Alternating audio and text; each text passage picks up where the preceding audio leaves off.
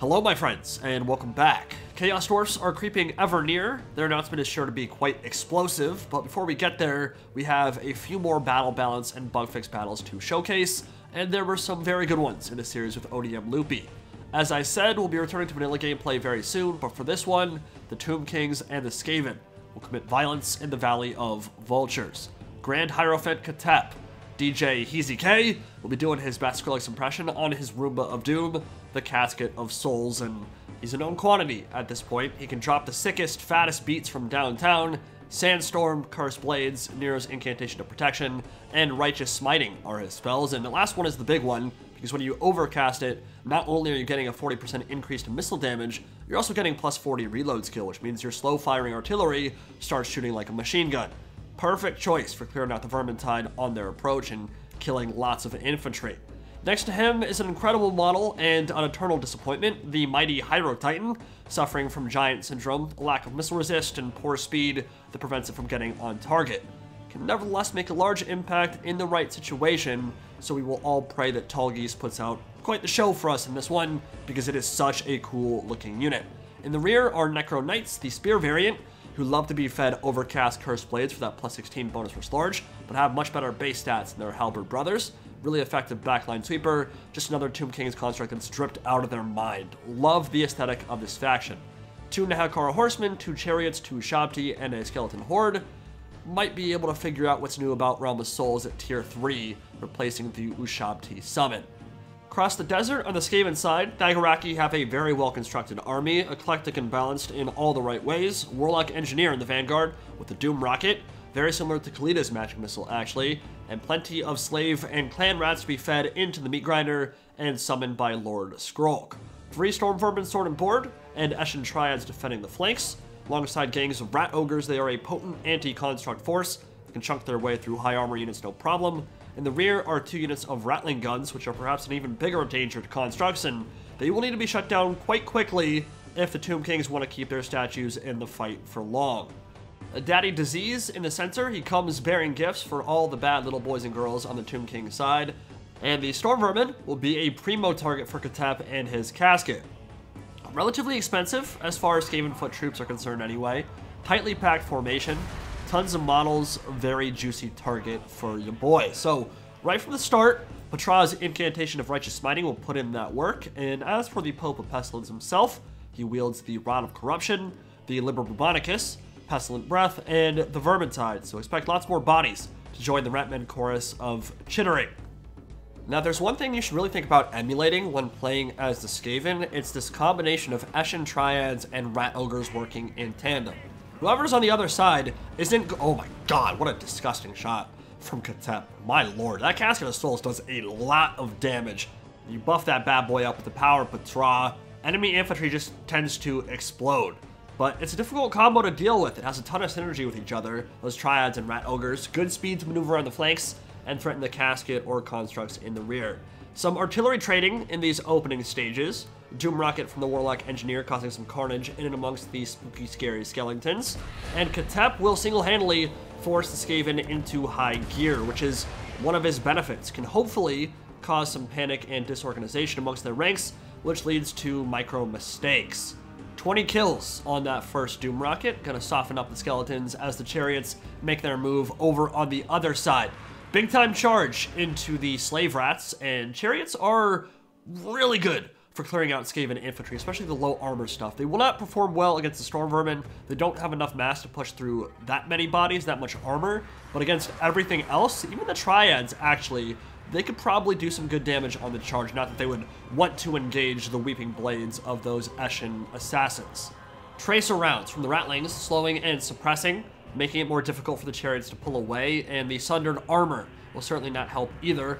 Remember that the Eshin Triads have only just now become visible, and these probing attacks from the Tomb Kings will probably have to be put on hold as their centers going to buckle pretty quick. They're going to need some support from the Ushabti, from the Hierotitan, and from the Nehekhara Horsemen. But of course, they can't just go in with the Hierotitan in the center, because the Rattling Guns are there to support. Khatep's still firing, about to cast another Righteous Incantation of Ptra's Smiting, and a Spirit Leech from the Hierotitan hitting the Rat Ogres in the center. Skeletons are going to buckle quickly after that assault. Skrolk's putting a lot of emphasis on breaking that center and getting at Khatep. Sandstorm's yet another great tool that Khatep has for breaking up the infantry in the center, and the Ratling guns, look at how much damage they just dealt to that Hyro Titan in only their first volley. It's going to drop about 4,000 HP at the edge of their fire arc, and this is why bringing those large constructs against Skaven can be a risky proposition. They're not going to be able to kill it right now. The Hierotitan will be able to escape from that situation, but dangerous. Make one little slip up, and your construct's losing half its HP in only a couple seconds. Shades of the Mummy, as the undead armies of Anubis and all those gigantic jackal demons charge forth for Dwayne The Rock Johnson. Similar vibes here as the Skaven and Tomb Kings clash. Ratman looking to weather the storm with their Storm Vermin holding a line for now, and they should be able to do so for a while anyway. But Ushabti did receive some buffs in their bonus infantry department. More Rattling Gun focus fire coming in and shredding that Hierotitan, and it is so slow when it is suppressed, down to like 27 speed, so had a difficult time getting out of the fire arc, even though he was already at the edge, and interesting developments from the Rat Ogres and from those Eshin Triads. As we said, they're going to look to put pressure on the rear, and they are around the flank and enclosing this Tomb King's army, who have a lot of stuff in reserve right now that can't really, or at least doesn't want to, just go right in to fight them. But the Necro Serpents will have to.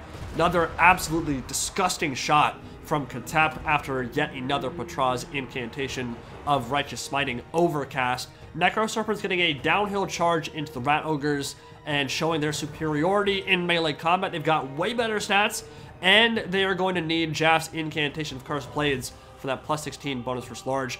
But they're dealing with a lot of AP and Armor Sundering on the other side. Those Weeping Blades will cut their armor value in half, and that is one of their biggest strengths in terms of their survivability. So that's going to be a really difficult fight for them. There's no way they get out of that without taking a lot of damage. Chariots and Nehekhara Horsemen are going to move right up the center here. They realize the threat those rattling guns pose. They don't have enough time to go all the way around the flank. They have to go right up the gut and silence the Daka for good.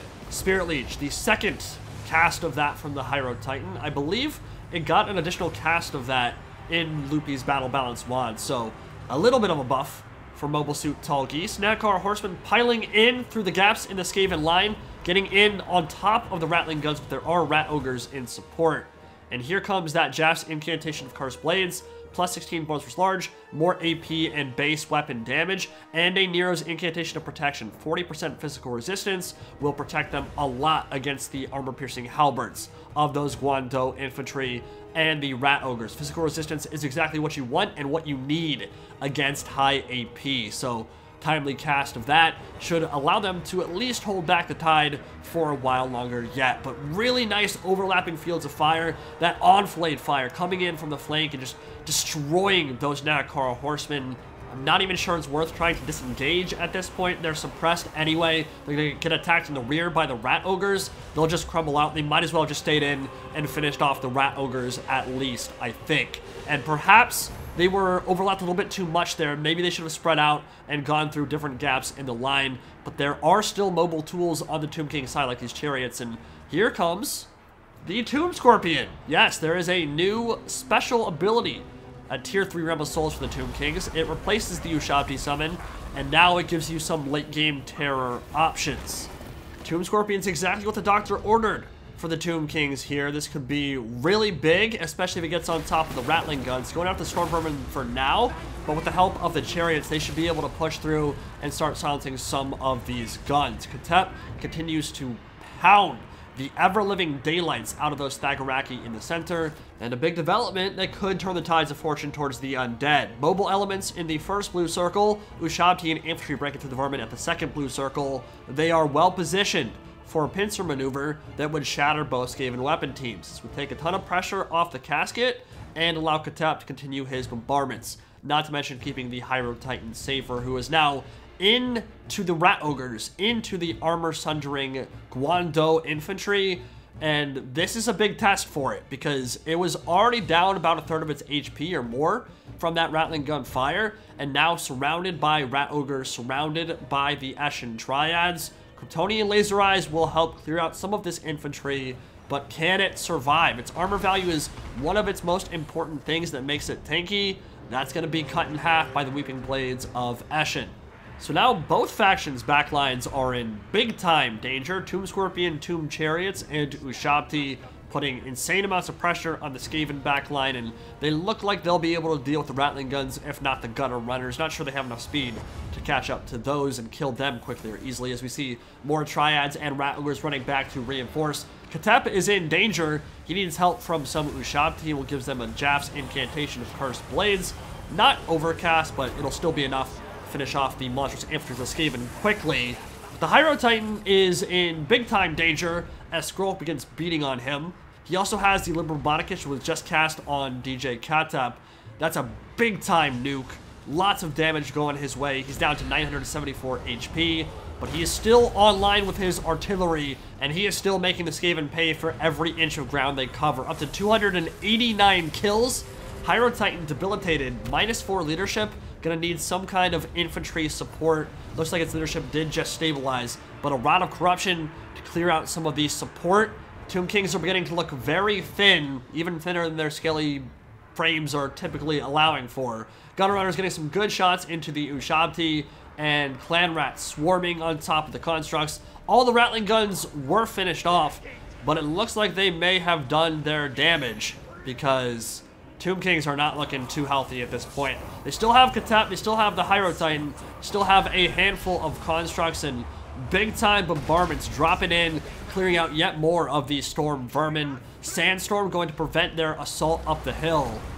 But Khatep is not going to be around for too much longer. The bounce bar is heavily in favor of the Thagaraki, and the Hierotitan Titan is simply not doing enough. It's not really doing much of anything. Surrounded by the Rat Ogres and Skrolk, just can't seem to land attacks doesn't seem to attack fast enough, and it's going to be over for the Tomb Kings momentarily. Army losses will kick in, and ODM Loupi will take this battlefield, and a brilliant performance on the Skaven side. They really played that close to perfection. The Rattling Guns were shattering the Hierotitan Titan and the Chariots at all times.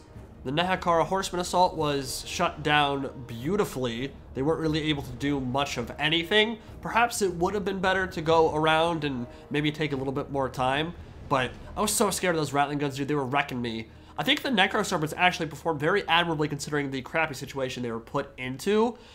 There's no doubt in my mind that dropping the Hierotitan Titan here and going for a wider build with Carrion, more Nehekhara Horsemen, more mobility, more tools to get into the Skaven rear and shut down their range play would have been extremely beneficial.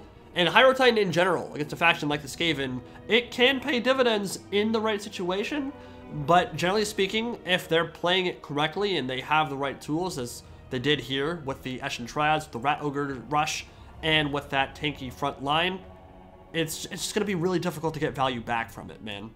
Not even just because of the overwhelming shooting, which of course Skaven are well known for. If they have warp lightning cannons, it would be a similar issue the Hierotitan Titan would face. But it just isn't even that good in melee either. Like, it has an insane amount of weapon damage and really good stats, but it's so slow that it can never get on target. And even if it does get on target, you just drop Vermintides at its feet, and then the splash attacks don't do enough damage easily move Skrolk away from him, he's going to be fine, and it just doesn't carry you in the way that you would hope for an almost 2,000 gold unit. So, ODM Loupi played that great. I think the Rat Ogres and Eshin Triads in combination were a really good tool for getting into the rear and messing up the Necro Serpents, messing up that Hierotitan, Titan, putting pressure on Khatep. Khatep did awesome, 350 kills. He was fantastic with both the Casket and with the Vortexes. But in the end, Skaven had a perfect strategy here, and they executed it about as well as you could possibly ask for. So, very well played. Hope you guys enjoyed, and there will be more from our series coming very soon.